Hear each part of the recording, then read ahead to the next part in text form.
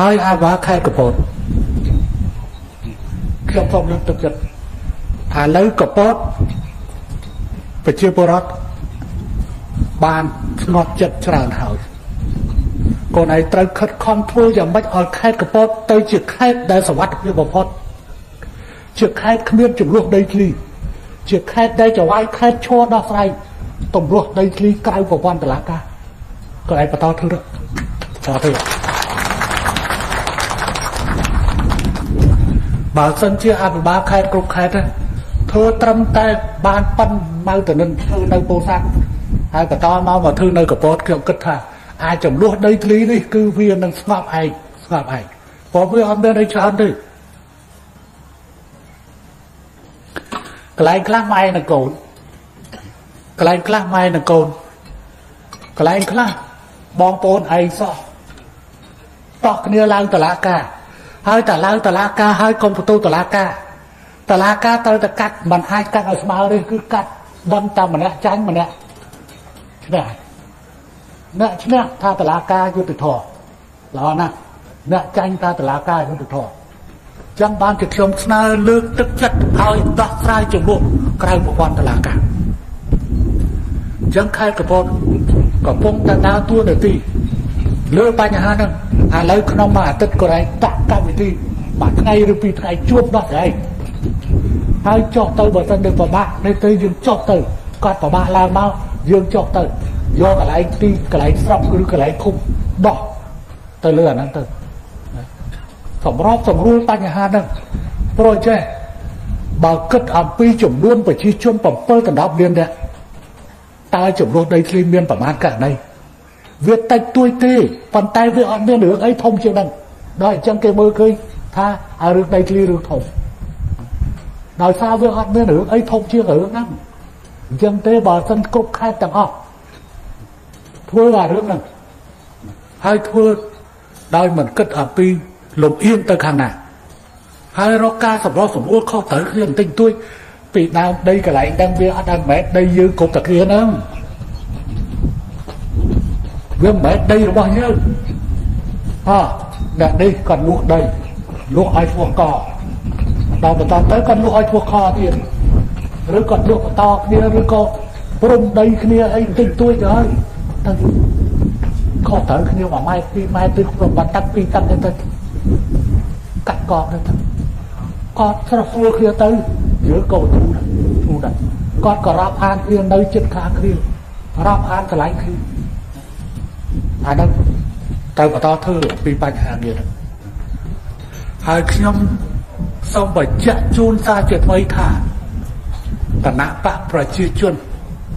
មិនឲ្យប្រជាជនកម្ពុជាខកចិត្តដោយសារតែខ្វះការទទួលខុសត្រូវនោះទេ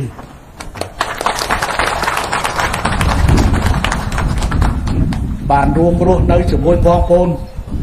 តាំងពីស៊ីម្បិល តាំងពីស៊ីម្បិលតាំងពីស៊ីក៏ពោតរដ្ឋមន្ត្រីការបរទេសរបបមានតែ16គីឡូទេក៏10គីឡូពោត6គីឡូស៊ីមិនថាទៅកាប់ជែកស៊ីកាប់ជែកយកមកស្ងោឥឡូវដល់ប៉ុណ្ណេះហើយតើតាណាទៀតហើយអ្នកដតីដែលគេថាគេខ្លាំងជាងយើងតើគេបានធ្វើអីហើយនៅ បងប្អូនវិនិច្ឆ័យមើលសម្រាប់ការបោះឆ្នោតរៀបពីខាងមុខហើយណាស់សមត្ថភាពការពារបងប្អូនបានឲ្យមានការច្បាំងរាំងជួលអានឹងគឺជាសមត្ថភាពពិតប្រាកដដែលបងប្អូនបានមើលឃើញហើយយើងបានមើលឃើញនឹងភ្នែកស្រាប់លឺនឹងតិចមិនបានចំណោះពួកអ្នកនៅខាងក្រៅប្រទេសដែលស្រែកវោវាស់វោវាស់យើងត្រូវពិនិត្យមើលពីអតីតកាលរបស់កម្ពុជា គ្មានរដ្ឋាភិបាលណា ដែលគ្រប់គ្រងបានតំបន់ទាំងអស់នោះទេអត់មានរដ្ឋាភិបាលណាទោះបីរដ្ឋាភិបាលចំនួនបារាំងគ្រប់គ្រងឬរដ្ឋាភិបាលចំនួនជប៉ុនគ្រប់គ្រងឬរដ្ឋាភិបាលចំនួនអាមេរិកគ្រប់គ្រងឬរដ្ឋាភិបាលដែលសង្គមរនិយមគ្រប់គ្រងឬរដ្ឋាភិបាលដែលខ្មែរក្រហមគ្រប់គ្រង ក៏អត់ដែលគ្រប់គ្រងទឹកដីបានទាំងអស់ទេអត់ដែលគ្រប់គ្រងទឹកដីបានទាំងអស់ទេមានតែរាជរដ្ឋាភិបាលនៃប្រជាជាណាចក្រកម្ពុជាទី2នេះទេ ដែលគ្រប់គ្រងបានទឹកដីទាំងអស់ដោយគ្មានកម្លាំងប្រាវុធទេថាយើងពិនិត្យមើលត្រឹមតែប៉ុណ្ណេះទៅចុះថាចំណន់សង្គមរឿងនិយម តើសង្គមរឿងនិយមអាចគ្រប់គ្រងទឹកដីទាំងអស់ទេអត់ទេបើមិនចឹងបកូនណាព្រះអង្គឯងលោកក៏បានតែងរឿងតាក់ទិនជាមួយនឹងបញ្ហាដាបឈួននៅទៅរឿងអីលើឆាយាលើកោណាអញ្ចឹងពេលនោះមានប្រសិទ្ធនាមថាខ្មែរស ខ្មែរឃីវខ្មែរក្រហមខ្មែរស៊ីជពូប៉ុន្តែខ្មែរស៊ីជពូអត់មានប្រដាប់អាវុធទេខ្មែរក្រហមខ្មែរសខ្មែរស៊ីជពូអាខ្មែរខ្មែរឃីវគឺមានប្រដាប់អាវុធខ្មែរក្រហមគឺនៅពេញព្រៃខ្មែរឃីវនៅឯជាប់នៅព្រំដែនកម្ពុជាថៃហើយខ្មែរសនៅជាប់ព្រំដែនកម្ពុជាវៀតណាមនៅទៅវិញ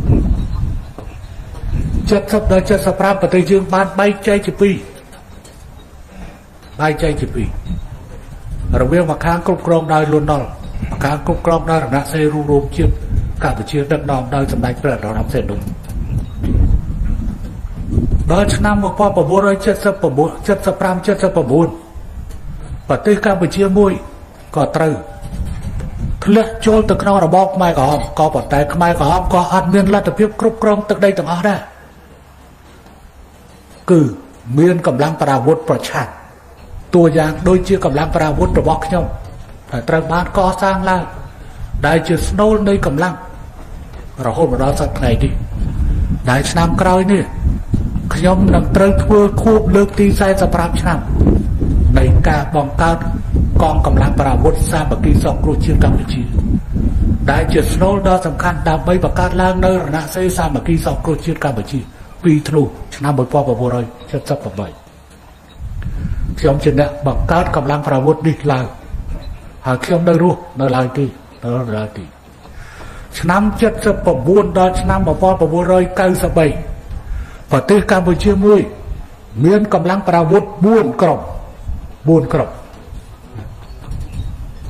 តំបន់ទួលត្រា4ទៅទៀតកម្លាំងមួយ គឺអតីតរដ្ឋកម្ពុជា ដែលខ្ញុំមានខ្ញុំមានជានាយករដ្ឋមន្ត្រីហើយមាននាយករដ្ឋមន្ត្រីជាបន្តបន្តប៉ុន្តែខ្ញុំបញ្ជាបន្តនៅកិច្ចការងារនេះមួយទៀតគឺត្រីភាគីតែត្រីភាគីនេះគឺនិយាយថាត្រីភាគីនេះគឺច្បាស់ហើយគឺមាន3នេះ3ក្រុមប្រាវុធក្រុមខ្មែរក្រហមក្រុម រកសេរបស់ប្រជាបរតខ្មែរនិងក្រុមហ៊ុនរិបិសិតតែមានប្រាវុធមានតំបន់ទូត្រារីវាខ្លួនពីឆ្នាំ93ដល់ឆ្នាំ98ក្រោយពីកម្លាំងរដ្ឋកម្ពុជាគណៈសេហ៊ុនរិបិនិងរណសេរបស់ប្រជាបរតខ្មែររួមរួមគ្នាក្រោមរបបរដ្ឋធម្មនុញ្ញមួយខ្មែរក្រហមនៅបន្តធ្វើសង្គ្រាម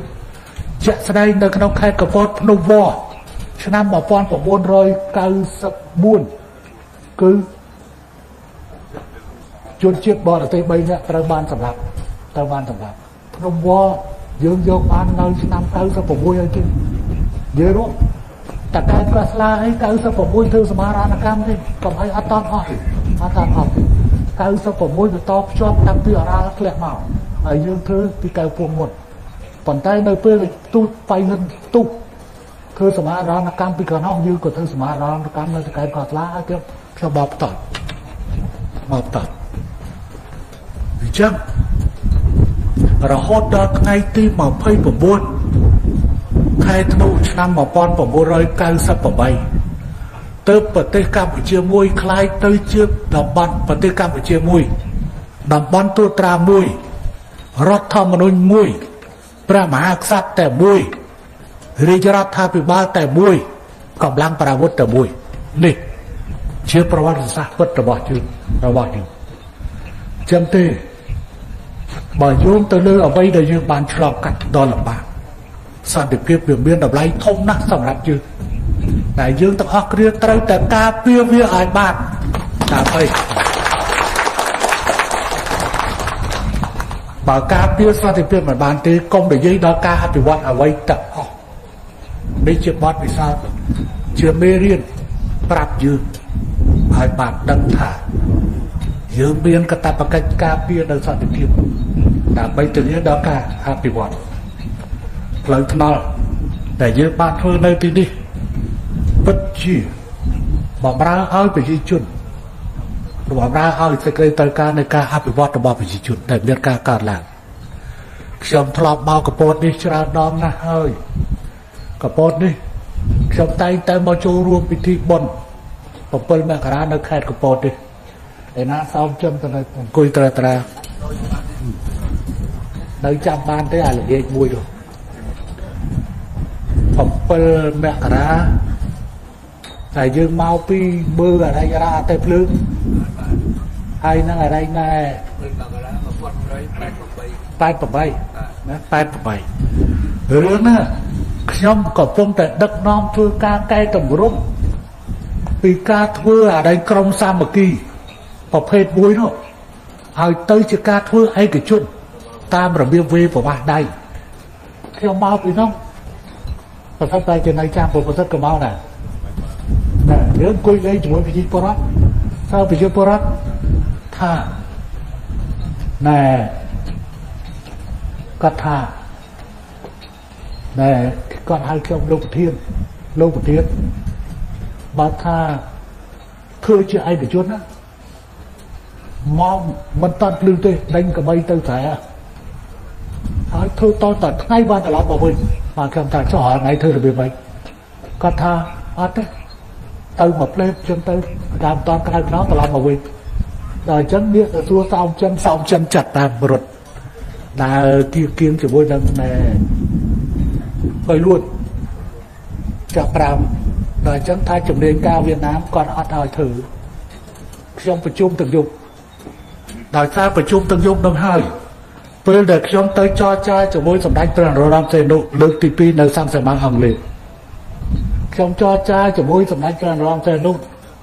ថ្ងៃទី2ខែធ្នូឆ្នាំ1987ពេលដែលខ្ញុំមកដល់ស្រុកខ្ញុំចុះមកខេត្តនេះ ខេត្តទេដើម្បីធ្វើបន់7មករាហើយខ្ញុំទៅធ្វើបន់សភាមួយនៅឯទឹកឈូហើយចុះមួយទឹកហ្នឹងគេថតយកទៅដាក់ថាលិចឬលិចរឿងដែរគេថតបានចុះអាអាในកាលនោះទៅទៅហេហេ Newsweek ហេហេ week ហេហេ week ឥឡូវហ្នឹងអានោះទស្សនាមកដីនៅក្របក្របវយហ្នឹងលិចរឿងដែរចុះខ្ញុំប្រជុំយប់នោះ ដល់ពេលខ្ញុំឡើងផ្លូវត្រឡប់ទៅចរចាឆ្លងកាត់ហាណូយខ្ញុំក៏ជួបអគ្គលេខាបកគុំនីវៀតណាមថ្មីវាវ៉ាន់នេះបាទខ្ញុំជម្រាបជូនគាត់ថាឥឡូវខ្ញុំសូមស្នើដកជំនាញការវៀតណាមទាំងអស់ចេញពីកម្ពុជាកងទ័ពវៀតណាមនៅសិនប៉ុន្តែខ្ញុំសូមស្នើដកជំនាញការវៀតណាមចេញពីកម្ពុជាព្រោះអ្វីព្រោះរវាងគ្រូនិងសិស្សវាអត់ត្រូវគ្នា ខ្ញុំកំពុងតែកែតម្រង់ដើម្បីតម្រង់ទៅធ្វើសេដ្ឋកិច្ចគេហៅថាសេដ្ឋកិច្ចឯកជនហើយខាងវៀតណាមកំពុងធ្វើសហគមន៍ធ្វើសហគមន៍វៀតណាមធ្វើសហគមន៍ចឹងបានរវាងជំនាញការជាមួយនឹងខាងយើងវាអត់ត្រូវគ្នាពេលនោះវាដូចចិត្តទៅទៀតអគ្គលេខាបកគុំនេះវៀតណាមនាងវណ្ឌិតបានឆ្លើយជាមួយខ្ញុំថា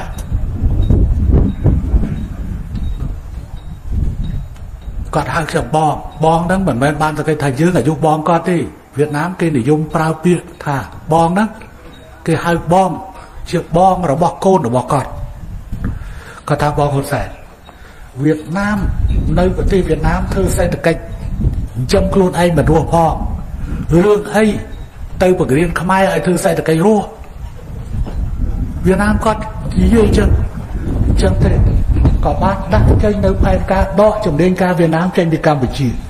ហើយដែលប្រធានជំនាញការវៀតណាមមករៀនការឲ្យខ្ញុំនៅថ្ងៃទី2ខែមិថុនាឆ្នាំ1988ជំនាញការវៀតណាមទាំងអស់គ្រប់ផ្នែកដកចេញកម្ពុជា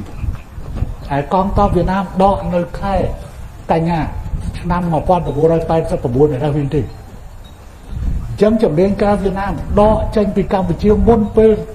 កងទ័ពវៀតណាម ដកចេញហើយរឿងហ្នឹងបានជាខ្ញុំប្រាប់ទៅពួកអ្នកដែលមកចោលចោលក្រោយក្រោយនេះខ្ញុំថាពេលដែលជំនាញពេលដែលវៀតណាមកងទ័ពវៀតណាមនៅកម្ពុជាខ្ញុំមានសិទ្ធិសម្រេចច្រើនជាងអ្វីដែលអស់លោកកំពុងធ្វើជាមួយខ្ញុំខ្ញុំចង់ធ្វើអានេះលោកឯងថាធ្វើអានោះ